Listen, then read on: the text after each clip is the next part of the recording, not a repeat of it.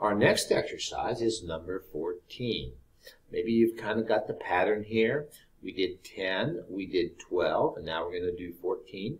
And this is going to leave you the odd ones to work on, and this would give you an example of what those are going to be like. They're going to be a little similar to the ones we're doing. So here, uh, we're going to do number 14. Notice number 14 didn't have any picture, it just had words here. So it says angle R and angle S are complementary angles. So we have to kind of think back, what was those complementary angles? What did they do? Well, they added up to 90. So again, we're not going to say that these two are equal to each other, but because they told us they're complementary, we're going to add them up to find, uh, to make them 100, I'm sorry, to make them 90. So our equation would look like this. We better put it right here. 12x minus 3 plus 7x minus 2 equals 90 degrees. I have some terms on this side. Again, we have we have two sides of this equation. We have a whole lot of stuff going on over here on the left side. So I can combine those terms. 12x plus 7x is going to be 19x. Minus 3 minus 2 would be minus 5. And that's still equal to 90. So to undo that minus 5, we're going to add 5 to both sides. And I'm going to get 19x equals 95. So if I have 19x equals 95, we're going to divide both sides by 19, and it's sure enough, x is equal to 5. Since x is equal to 5, I actually still have to answer that question. And this is one of the tricks that the, the math people always play on you when you take those standardized tests. You work real, real hard. We worked really hard to get this x is equal to 5. But they want more. So we're going to look and see, what are we looking for? And they say, find the measure of angle R. So it tells us R is 12x minus 3. So I can put that 5 back in place, this 5, in place of that x. So I have 12 times 5 minus 3. And 12 minus, or 12 times 5 is 60. And 60 minus 3 is 57. So here we did uh, an angle relationship problem. We didn't have any picture. We just had some words, some of those things that they, def they defined early on what a complementary angle was. And we were able to write an equation and solve that equation and then find out the answer to, to the question that they asked. So we'll give you a little time to look at this and get that down. Maybe, just maybe, we'll go to another even problem uh, for our next one.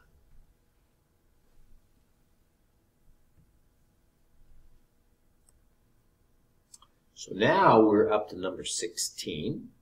Number 16 is a little different than the rest. Uh, we were given some pictures early on. We were given some uh, terms about our x. This time, we're just given some words. So it says the measure of angle, well, first of all, it says angle 1 and angle 2 form a linear pair. So let's try to think back what that meant.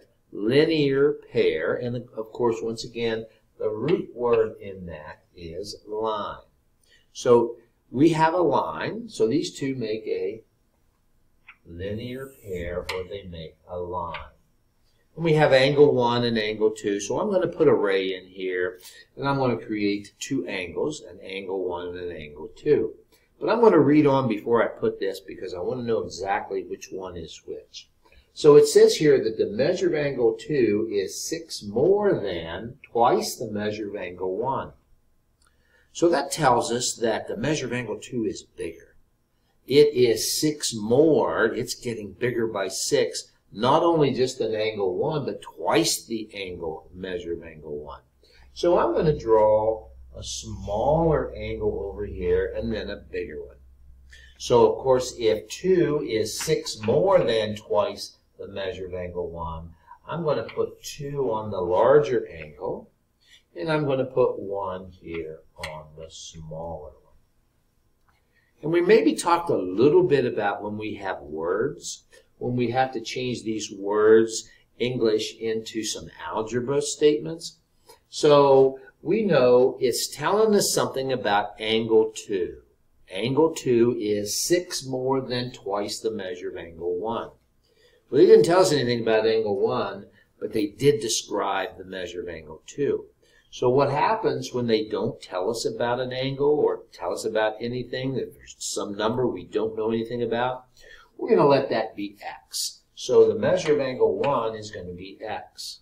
So I can come down here in my picture and I'm going to put an x. Now I need to decide what is the measure of angle 2. How big is it? Well, it says it's 6 more than, so I'm going to have to add 6 on. But I don't know what to add it on to right now. So let's read on. I'm going to add 6 more than. I'm going to add 6 to twice this measure of angle 1. So twice, of course, you all know this. Twice means to multiply by 2. So twice the measure of angle 1, we could call that 2x. Now we not only have twice, but we have 6 more than that. So the measure of angle 2 is going to be this 2x plus 6 more. So now I've labeled my angles. I've given them an algebraic uh, expression to describe what that angle is. Angle 1 is x. Angle 2 is 2x plus 6. And now I need to write an equation and since they're a linear pair, we know that when I start over this and go all the way over here, when I open that thing all the way up, I get 180 degrees. So I can write an equation that says this x plus the 2x plus 6 is going to equal 180 degrees.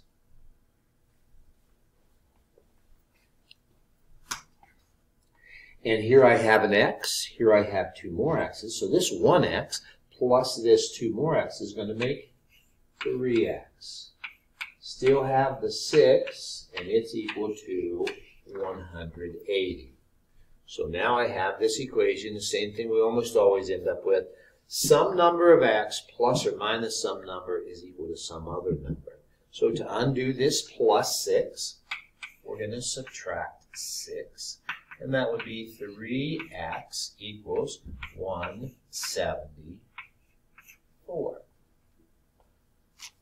So 3 times some number is 174, so I would divide both sides by 3.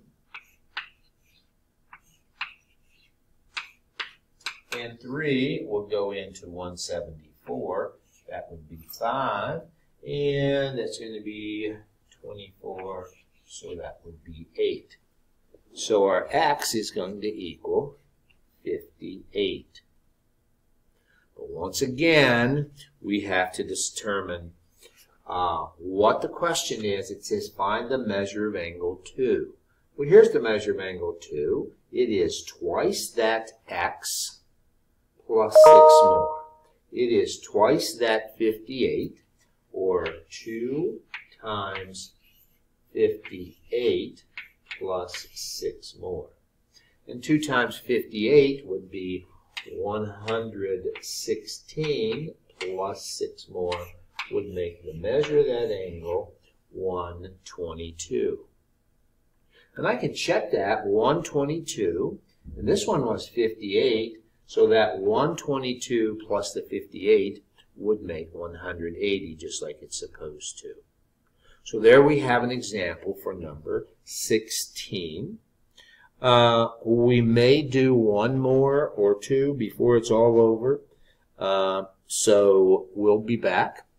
Have an opportunity to write this down. Make sure you get this on your paper because we're going to be turning this in. When we get everything finished, we get everything wrapped up. You can also look back and see these examples and see how they work. You can always turn the video back on and check it out whenever you get stuck on some things. So we're going to work real, real hard to make sure we get uh, everything taken care of, make sure we get our packets finished, and we'll be successful in the geometry class. Yeah, we kind of changed things up a little bit for you. This time we're taking a look at number 19. Uh, we, it says here, if MO bisects angle M and PMN, sorry, uh, and the measure of angle PMN is 74, the measure of angle OMN is 2x plus 7. Find the value of x. And of course you saw me stumble around a little bit. First of all, because we have a lot of letters, and it doesn't make a whole lot of sense unless we have a picture. And I don't have a picture up here yet, so I'm going to get the picture up, and then we'll finish this little problem. There, that's much, much, much better. Now we have a picture. So let's go back and see what this says. It says if ray MO bisects angle PMN. So here we have ray MO, and it bisects angle PMN. Well, we have to kind of remember what it means to bisect, what it means to bisect something. So bisect, of course, kind of we kind of maybe trigger that in our head. It sounds a lot like dissects. And when we dissect something, we want to cut it right down the middle. So we want this to cut this angle right down the middle. So the measure of this angle is going to be exactly the same as the measure of this angle. So it bisects it. But here's what it says. It says angle PMN is 74. So this whole big angle is 74. So there's a couple of things that we can do. If this cuts this right smack dab down the middle, it would make two angles that are equal in their measure. Their measures were going to be equal. They're going to be opened up exactly the same amount. So if the whole thing is 74, some of us might think, well now, if it cuts that 74 into two equal pieces, each of those pieces would have to be half of 74. So you might grab that calculator, decide what is uh, 74 divided into two equal pieces? Or what is one half of 74? And of course the answer to that would be 37 degrees. So each of those angles would be 37. So the measure of angle OMN would be 37. But I have another name for OMN is 2x plus 7. So I can write that equation. 2x plus 7 would equal 37. And now I could subtract 7 from both sides. And 2x would equal 30. And if I divide both sides by 2, x would equal 15. So here we answered the question, what is x? uh, given all this information, and we found x is equal to 15. So we're going to let you finish this up now. You had several examples. Uh, you can finish this page with uh, the other ones that uh, uh, that go along with. This is our first page. Uh, and then we have another one that says this is a two-page document. I may post some of those uh, examples or some of those problems as they get a little bit more difficult. Uh, so check back a little later, but this should get you through the first page of our assignment. And you should be able to move on and do the second one as well. So this is a whole week's worth of uh, work. So it's talking about angle relationships and how they all work together. And there's several algebra problems in there to solve those uh, x's and to find out the measures of some different angles. So good luck with everything. Make sure you get this sent back to me. Uh, if you're sending it, you can drop it off. If you're uh,